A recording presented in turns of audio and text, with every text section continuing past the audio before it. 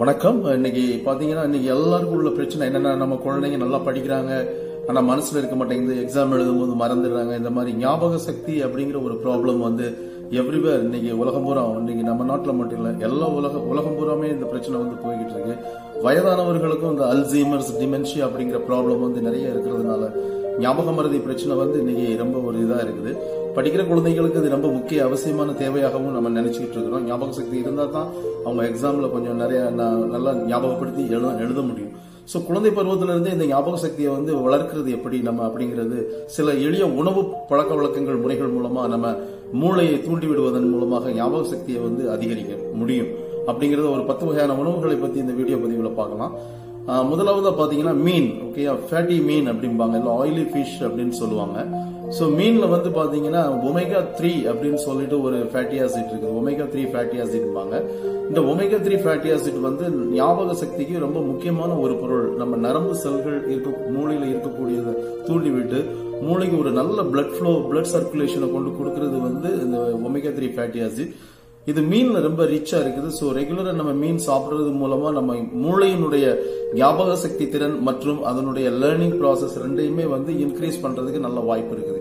So என்னென்ன மீன்லாம் சாப்பிடலாம் அப்படின்னு பாத்தீங்கன்னா ஹெர்ரிங்ஸ் சாட்ரின் டியூனா மெக்காரல் தமிழ்ல சொல்லணும்னா சூர மீன் சொல்றோம் இல்லையா? சூர மீன் காணாங்கெழுதி நெத்திலி மீன் மத்தி அப்புறம் பொத்தல் இந்த மாதிரி மீன் வகைகள் எல்லாமே நிறைய நம்ம உணவுல சேர்த்துக்கணும் ரெண்டாவது முக்கியமான உணவுப் பொருள் என்ன அப்படின்னு பாத்தீங்கன்னா சாக்லேட் டார்க் சாக்லேட்னு சொல்லுவோம்.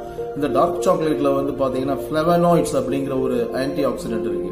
இந்த ஃபிளவனாய்ட்ஸ் அப்படிங்கிற ஆன்டி ஆக்சிடென்ட் வந்து மூளைக்கு நல்ல பிளட் ஃப்ளோவை கொடுக்குது. பிளட் சர்க்குலேஷன் மூளைக்கு ரெகுலரா போகும்போது என்ன அப்படின்னு பாத்தீங்கன்னா அதுக்கு மூளைக்கு தேவையான ஆக்சிஜன் வந்து கரெக்டான அளவுல கொடுத்து அதுக்கு நல்ல பிளட் சப்ளையும் கொடுக்கும்போது மூளை வந்து தன்னுடைய ஞாபக சக்தி திறனையும் அதிகரிச்சு சுறுசுறுப்புடனும் இயங்கும் அப்படின்னு சொல்லி அப்படின்னு ரிசர்ச்ல வந்து கண்டுபிடிச்சு சொல்லியிருக்காங்க.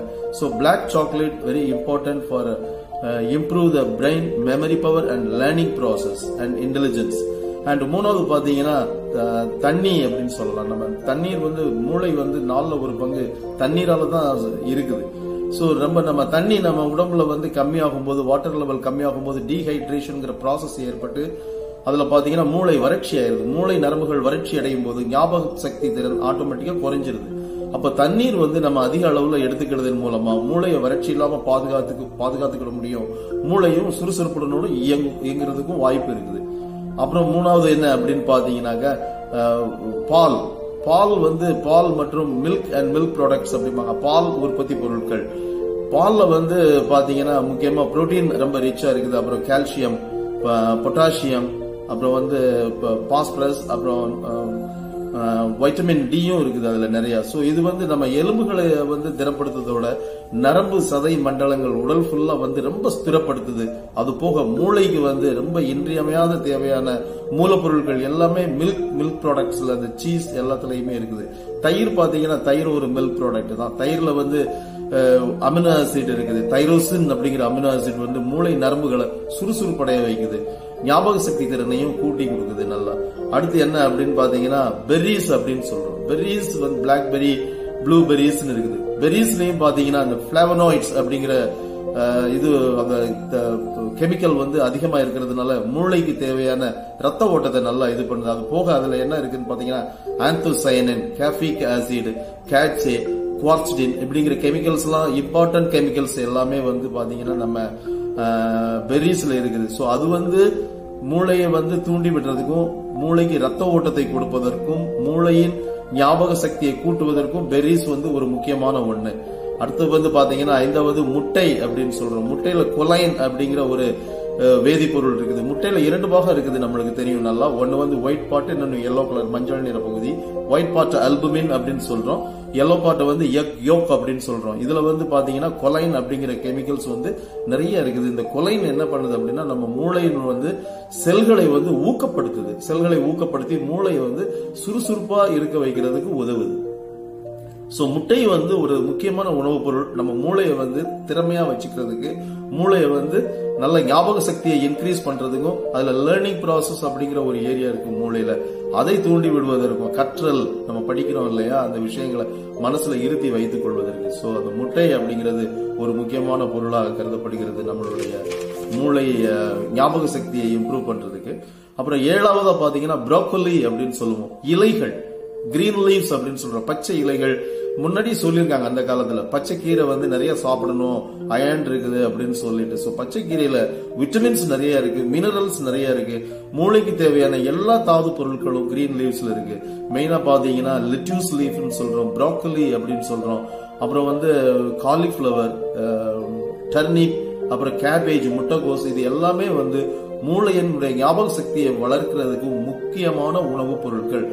இதை எந்த காரணத்திலையும் நம்ம தவிர்க்க கூடாது. அப்புறம் பாத்தீங்கன்னா கிரீன் டீ கிரீன் டீல பாத்தீங்கன்னா vitamin B six and B twelve இது ரெண்டுமே ரொம்ப முக்கியமா இருக்கு. நம்ம முட்டை சொல்லியிருந்தேன் நான் முட்டையிலையும் பாத்தீங்கன்னா விட்டமின் பி என்ன இருக்குதுன்னு பாத்தீங்கன்னா vitamin B B six and B twelve and vitamin E இது நாலுமே முட்டையிலையும் இருக்குது. இது இதுதான் மூளையினுடைய வளர்ச்சிக்கு முக்கியமான தேவைப்படக்கூடிய vitamins B B six and B twelve அதே விட்டமின் பி சிக்ஸ் வந்து கிரீன் டீலையும் நம்மளுக்கு இருக்குது.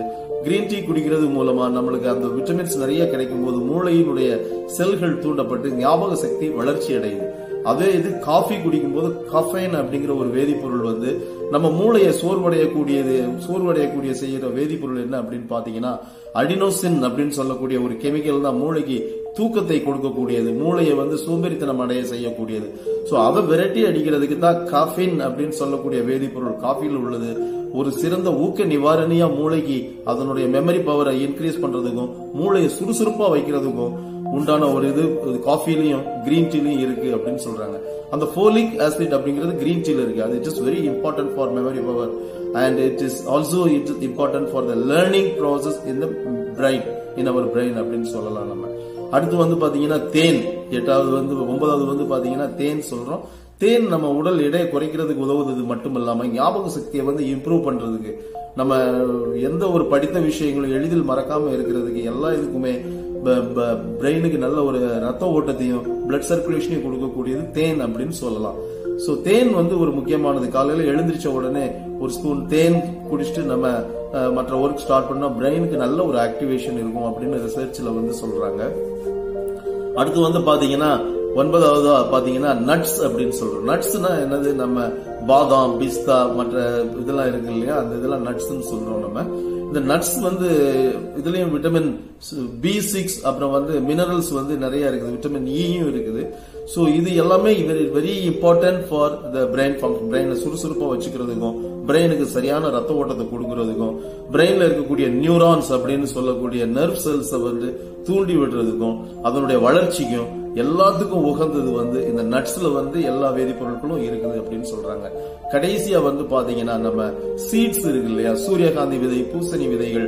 இது எல்லாத்துலயுமே பாத்தீங்கன்னா நம்மளுக்கு முக்கியமான ஆன்டி ஆக்சிடென்ட்ஸ் எல்லாமே இதுல இருக்கிறதுனால நம்ம பிரெயினை இதை தூண்டி விட்டு நம்மளுடைய ஞாபக சக்தியை நல்லா இம்ப்ரூவ் பண்றதுக்கும் இன்க்ரீஸ் பண்றதுக்கும் நம்ம படிக்கிறத வந்து இருத்தி வைப்பதற்கும் இது ஒரு அல்சீமர்ஸ் டிசின் சொல்லக்கூடிய இப்போ ஏஜ் ஆக ஆக ஞாபக மருதி அதிகமாகிடும் நம்மளுக்கு. சிறு குழந்தைகளுக்கே இப்போ வந்து இதெல்லாம் அதிகமாக காணப்பட்டுக்கிட்டு இருக்குது.